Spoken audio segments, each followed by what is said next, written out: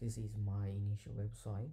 As you can see the logo is at the top left top corner and the navigation bar is at the right top corner.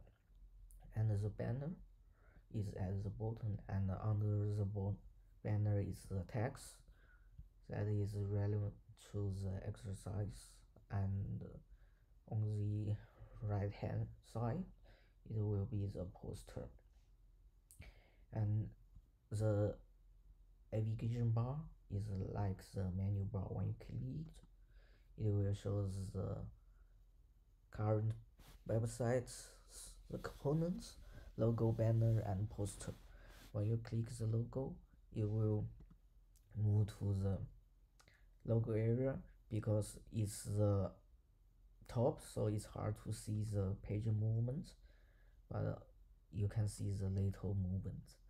And when you click the banner it's easier to see the page movement and the banner will show at the top of page. And and so when you click poster it will be moved to the post page. Yeah that's it. Thank you